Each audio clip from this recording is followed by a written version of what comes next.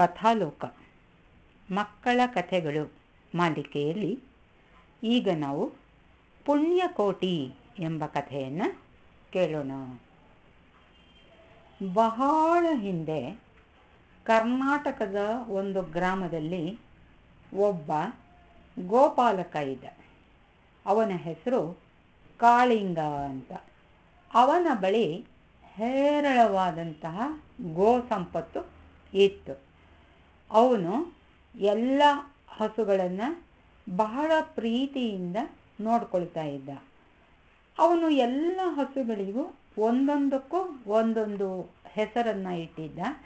ಯಾವುದನ್ನು ಕರೆದ್ರೂ ಅದು ಓಡಿ ಬರ, ಯಾವ ಹೆಸರನ್ನು ಹಿಡಿದು ಕರೀತಾನೋ ಆ ಹೆಸರಿನ ಹಸು ಇವನ ಬಳಿಗೆ ಓಡಾಡಿ ಬರ್ತಾ ಇತ್ತು. ಅವನು ಗಂಗೆ, ಕಾವೇರಿ, ಯಮುನಾ ತುಂಗ, ಭದ್ರ, ಸರಸ್ವತಿ ಅಂತ ಎಲ್ಲ ನದಿಗಳ ಹೆಸರನ್ನು ಕೂಡ ಇಟ್ಟಿದ್ದ. ಅವನು ಎಲ್ಲ ಹಸುಗಳನ್ನು ಸಮಾನವಾಗಿ ಪ್ರೀತಿಸ್ತಾ ಇದ್ದ. ಆದರೆ ಅಷ್ಟು ಹಸುಗಳಲ್ಲಿ ಅವನಿಗೆ ಪುಣ್ಯಕೋಟಿ ಅನ್ನತಕ್ಕಂತಹ ಹಸುವಿನ ಬಗ್ಗೆ ವಿಪರೀತವಾದಂತಹ ಪ್ರೀತಿ, ಕಾಳಜಿ ಇತ್ತು. ಯಾಕೆ ಅಂದರೆ ಇದು ತುಂಬ ಒಳ್ಳೆಯ ಸ್ವಭಾವದ ಹಸುವಾಗಿತ್ತು. ಅದು ಯಾರಿಗೂ ಯಾವತ್ತು ಬೇರೆ ಹಸುವಿಗಾಗಲಿ ಅದನ್ನು ಕಾಯಿ ಮೇಯಿಸ್ತಾ ಇದ್ದಂತಹ ಕಾಳಿಂಗನಿಗಾಗಲಿ ತೊಂದರೆಯನ್ನು ಒಂದು ದಿವಸ ಇದು ಕೊಟ್ಟಿದ್ದೇ ಇಲ್ಲ. ಪ್ರತಿ ದಿವಸ ಅವನು ಹಸುವನ್ನೆಲ್ಲ ಮೇಯಿಸೋಕ್ಕೆ ಕರ್ಕೊಂಡು ಹೋಗ್ತಾ ಇದ್ದ ಕಾಡಿನ ಬಳಿಗೆ ಮತ್ತೆ ವಾಪಸ್ಸು ಸಾಯಂಕಾಲ ಅವುಗಳನ್ನು ಕತ್ಲಾಗೋದಕ್ಕೆ ಮೊದಲೇನೆ ಅಟ್ಕೊಂಡು ಬಂದ್ಬಿಡ್ತಾ ಇದ್ದ. ಒಂದು ಬೇಸಿಗೆಯ ಸಮಯ, ಇದ ಕಾಳಿಂಗ ಮರದ ಕೆಳಗೆ ಮಲಗಿದ್ದವನಿಗೆ ಚೆನ್ನಾಗಿ ನಿದ್ದೆ ಬಂದ್ಬಿಟ್ಟಿತ್ತು. ಈ ಮೇಯ್ತಾ ಇದ್ದಂತಹ ಹಸುಗಳು ಮುಂದೆ ಮುಂದೆ ಮುಂದಕ್ಕೆ ಅವುಗಳು ಹುಲ್ಲನ್ನು ಹುಡುಕೊಂಡು ಮುಂದಕ್ಕೆ ಹೊಟ್ಟೋಗ್ಬಿಟ್ಟಿದ್ವು ಅವುಗಳೆಲ್ಲ ನಿಧಾನವಾಗಿ ಪುಣ್ಯಕೋಟಿ ಎಲ್ಲದಕ್ಕಿಂತಲೂ ಇದು ಮುಂದೆ ಹೊಟ್ಟೋಗ್ಬಿಟ್ಟು ಮೇಯ್ಕೊಂಡು ಒಂದು ಹುಲಿ ಕಲ್ಲು ಬಂಡೆ ಮೇಲೆ ಕೂತಿದೆ. ಇಂತಹ ಅವಕಾಶಕ್ಕಾಗಿ ಅದು ಕಾಯ್ತಾ ಇದೆ. ಅದು ಉಪವಾಸದಿಂದ ಇತ್ತು. ಎರಡು ಮೂರು ದಿವಸದಿಂದ ಅದಕ್ಕೆ ಬೇಟೆನೇ ಸಿಕ್ಕಿರಲಿಲ್ಲ. ಅದಕ್ಕೆ ವಿಪರೀತವಾದಂಥ ಹಸಿವು ಬೇರೆ ಆಗ್ಬಿಟ್ಟಿತ್ತು. ಅದು ತಕ್ಷಣವೇ ಆ ಪುಣ್ಯಕೋಟಿ ಹಸುವಿನ ಮುಂದೆ ನೆಗೆದು ಬಂದು ನಿಂತ್ಕೊಂತು ಅದನ್ನು ಕೊಲ್ಲಬೇಕು ಅಂತ ಸಿದ್ಧವಾಯಿತು. ಪುಣ್ಯಕೋಟಿ ಯಾವಾಗ ಅದನ್ನು ನೋಡ್ತೋ ಆವಾಗ ಬಹಳ ಹೆದರ್ಕೊಂಡ್ಬಿಡ್ತು. ಮತ್ತು ಅದು ಆ ಹುಲಿಯ ಹತ್ರ ಮಾತಾಡ್ತು. ಪ್ರೀತಿಯ ಸಹೋದರನೇ, ದಯವಿಟ್ಟು ನಾನು ಹೇಳೋದನ್ನು ಕೇಳಿಸ್ಕೊ. ನನಗೆ ಎಳೆಗರು, ಸಣ್ಣ ಕರು ಇದೆ. ಅದು ನಾನು ವಾಪಸ್ಸು ಹಿಂತಿರುಗಿ ಹೋಗೋದನ್ನು ನನಗಾಗಿ ಅದು ಕಾಯ್ತಾ ಇದೆ. ಒಂದು ಸಲ ನಾನು ಹೋಗಿಬಿಟ್ಟು ಅದಕ್ಕೆ ಹಾಲನ್ನು ಕುಡಿಸ್ಬಿಟ್ಟು ಬಂದ್ಬಿಡ್ತೀನಿ. ಮತ್ತು ಅದಕ್ಕೆ ನಾನು ವಿದಾಯವನ್ನು ಕೂಡ ಹೇಳಿ ಬೇಗ ಬಂದ್ಬಿಡ್ತೀನಿ. ಆಮೇಲೆ ನೀನು ನನ್ನನ್ನು ನಾನು ಹಿಂತಿರುಗಿ ಬಂದ ಮೇಲೆ ತಿನ್ನುವಂತೆ ಅಂತ ಈ ಮಾತನ್ನು ಕೇಳಿ ಹುಲಿ ನಕ್ಬಿಡ್ತು. ನೀನೇನೋ ನನ್ನನ್ನು ಮೂರ್ಖ ಅಂತ ತಿಳ್ಕೊಂಡಿದೀಯಾ ಕೈಗೆ ಸಿಕ್ಕಂತಹ ಬೇಟೆಯನ್ನು ನಾನು ಬಿಟ್ಟುಬಿಟ್ಟು ನಿನ್ನ ಮನೆಗೆ ಹೋಗ್ಬಿಟ್ಟು ನೀನು ಹೇಳಿದ ಮಾತನ್ನು ನಾನು ಕೇಳಲ್ಲ ಅದೆಲ್ಲ ಆಗಲ್ಲ, ನಾನು ಈಗಲೇ ನಿನ್ನನ್ನು ತಿಂದ್ಬಿಡ್ತೀನಿ ಅಂತ ಹೇಳ್ತು. ಪ್ರೀತಿಯ ಸಹೋದರನೇ, ನಾನು ನಿನಗೆ ಆಣೆ ಪ್ರಮಾಣ ಮಾಡಿ ಮಾತು ಕೊಡ್ತಾ ಇದ್ದೀನಿ. ನಾನು ಎಷ್ಟು ಶೀಘ್ರವಾಗಿ ಹಿಂತಿರುಗಿ ಬರೋಕ್ಕೆ ಸಾಧ್ಯವೋ, ಅಷ್ಟು ಬೇಗ ನನ್ನ ಕರುವನ್ನು ನೋಡಿ ಒಂದು ಸಲ ವಾಪಸ್ ಬಂದ್ಬಿಡ್ತೀನಿ. ದಯವಿಟ್ಟು ನೀನು ನಂಬು ನನ್ನನ್ನು ಅಂತ ಬೇಡ್ಕೊಂತು. ಪುಣ್ಯಕೋಟಿ ಕಣ್ಣಲ್ಲಿ ನೀರು ಹಾಕ್ಕೊಂಡು ತನ್ನ ಕರುವನ್ನು ನೆನೆಸ್ಕೊಂಡು ಅಳತ ಅಳೋದಕ್ಕೆ ಪ್ರಾರಂಭ ಮಾಡ್ತು ಹುಲಿ ಹೇಳ್ತು, ಸರಿ, ಹೋಗು. ಇದೇ ಸಮಯಕ್ಕೆ ನಾಳೆ ಬಂದ್ಬಿಡ್ಬೇಕು ನೀನು. ನೀನೇನಾದರೂ ಬರಲಿಲ್ಲ ಅಂದರೆ ನಿನ್ನನ್ನು ಬೇಟೆ ಆಡೋಕ್ಕೆ ನಾನೇ ಹುಡ್ಕೊಂಡು ಬಂದ್ಬಿಡ್ತೀನಿ, ಅಂತೂ. ಪುಣ್ಯಕೋಟಿ ಅದಕ್ಕೆ ಧನ್ಯವಾದವನ್ನು ಹೇಳಿ ಹುಲಿಗೆ ತಾನು ಭಾಷೆಯನ್ನು ಕೊಟ್ಟು ಬಿಟ್ಟು ಬೇಗ ಬರ್ತೀನಿ ಅಂತ ಹೇಳ್ತು. ಓಡಿಕೊಂಡು ವಾಪಸ್ಸು ಅದು ಬನ್ ಯಾವಾಗ ಬಂತೋ ಆಗಲೇ ತಡ ಆಗಿಬಿಟ್ಟಿತ್ತು. ಕಾಳಿಂಗ ಅದಕ್ಕೋಸ್ಕರ ಹುಡುಕಾಡ್ತಾ ಇದ್ದ ಈಗಾಗಲೇ ಎಲ್ಲೋ ತಪ್ಪಿಸ್ಕೊಂಡು ಹೊರಟೋಗಿದೆ, ಎಲ್ಲೋ ಪುಣ್ಯಕೋಟಿ ಇಲ್ವಲ್ಲ ಅಂತ. ಆಗ ಪುಣ್ಯಕೋಟಿ ಬಾ, ಬೇಗ ಬಾ. ಇದು ಈಗಾಗಲೇ ಗೋಧೂಳಿ ಮೊದಲೇ ನಾವು ಇಲ್ಲಿಂದ ಹೊರಡಬೇಕಿತ್ತು. ಈಗಾಗಲೇ ಕತ್ಲಾಗ್ತಾ ಇದೆ. ಇನ್ನಿನ್ನೂ ನಾವು ತಡ ಮಾಡಿಬಿಡೆ ಇಲ್ಲಿರೋದು ಅತಿ ಅಪಾಯಕರವಾದಂತಹ ಸಮಯ ಆಗ್ಬಿಡುತ್ತೆ. ನೀನು ಒಬ್ಬನೇ ಎಲ್ಲಿ ಹೊಟ್ಟೋಗ್ಬಿಟ್ಟಿದ್ದೆ ನೀನು? ಅಂತ ಕೇಳಿದ. ಪುಣ್ಯಕೋಟಿ ಬಹಳ ದುಃಖದಿಂದ ಅವನನ್ನು ನೋಡ್ತು. ಅದು ಹೇಗೆ ಎಲ್ಲ ಹಸುಗಳು ತನ್ನ ಕೊಟ್ಟಿಗೆಗೆ ಹೋಗಬೇಕೋ ಅದಕ್ಕಿಂತಲೂ ಮುಂದೆ ಇದು ಓಡ್ ಹೋಯಿತು. ತಾಯಿ ಎಲ್ಲ ಹಸುಗಳು ಕೂಡ ತಮ್ಮ ಕರುಗಳನ್ನು ನೋಡಕ್ಕೆ ಹೋಯಿತು. ಪುಣ್ಯಕೋಟಿ ತನ್ನ ಕರುವಿನ ಬಳಿಗೆ ಎಲ್ಲರಿಗಿಂತ ಮುಂದೆ ಓಡಿ ಹೋಗಿ ಅದಕ್ಕೆ ಹಾಲು ಕುಡಿಸೋದಕ್ಕೆ ಪ್ರಾರಂಭ ಮಾಡಿತು.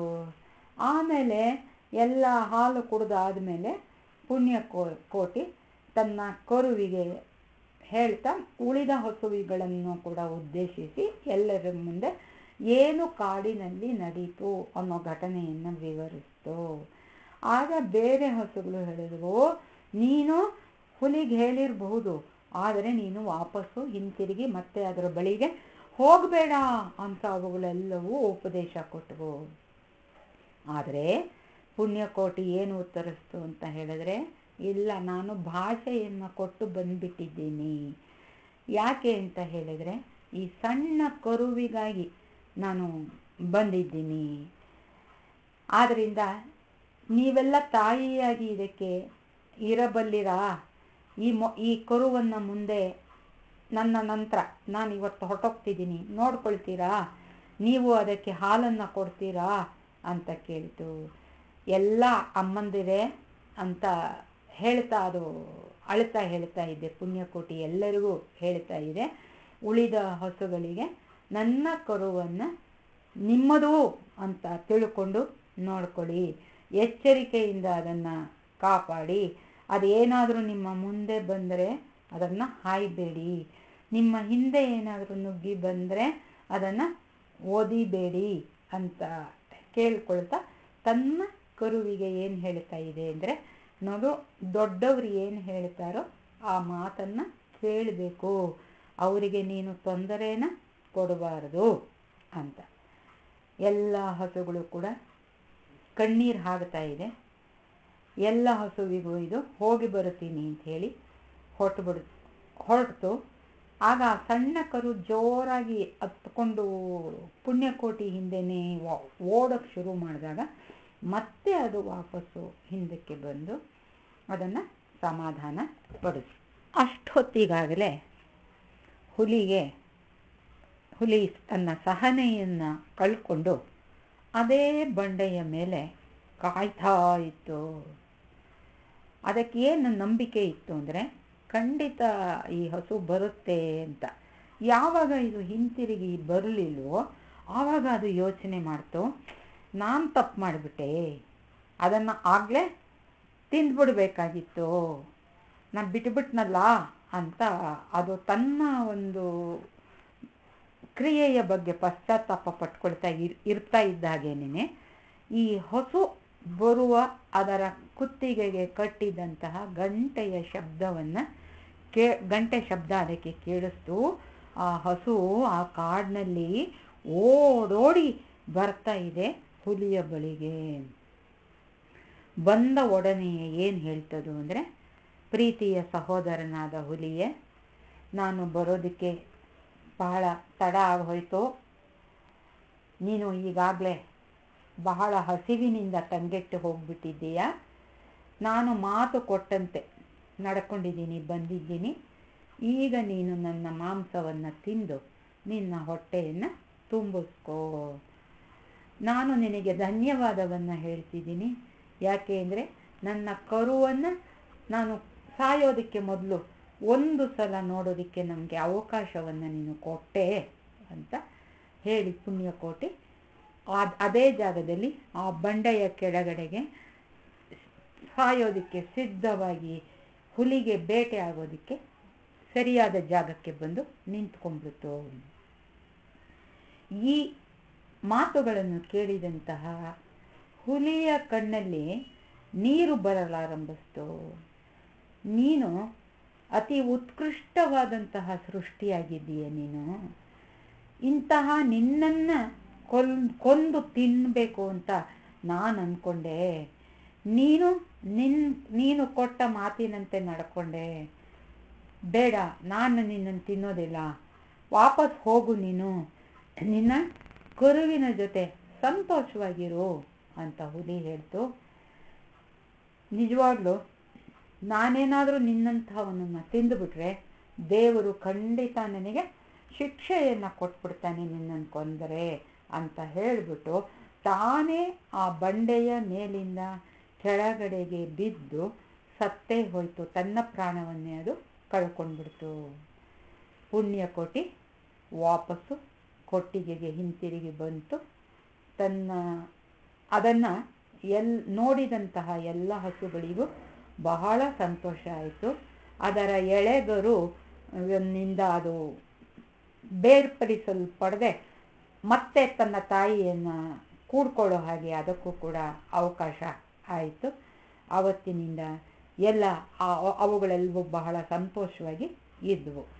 ಈ ಪುಣ್ಯ ಕೋಟಿಯ ಒಂದು ಪ್ರಾಮಾಣಿಕತೆ ಅನ್ನೋ, ಅನ್ನೋದು ಎಷ್ಟು ಅಂದರೆ ಇವತ್ತು ಕೂಡ ಸತ್ಯ ವಾರ್ತೆ ಅಂತ ಹೇಳಿದ್ರೆ ಈ ಪುಣ್ಯಕೋಟಿಯನ್ನೇ ಉದಾಹರಣೆಯಾಗಿ ಕೊಡುವಂತಹ ವಾಡಿಕೆ ಇಂದಿಗೂ ಇದೆ. ಇಷ್ಟು ಹೊತ್ತು ನಾವು ಪುಣ್ಯಕೋಟಿಯ ಒಂದು ನಡತೆ, ಪ್ರಾಮಾಣಿಕತೆಯ ಬಗ್ಗೆ ಅರಿತುಕೊಂಡ್ವಿ. ಪುಣ್ಯಕೋಟಿ ಕಥೆಯನ್ನು ಆಲಿಸಿದ್ವಿ. ತಮ್ಮೊಡನೆ ರಾಜಲಕ್ಷ್ಮಿ ಗೋಪ ಪುನಃ ಭೇಟಿ ಆಗೋಣ ನಮಸ್ಕಾರ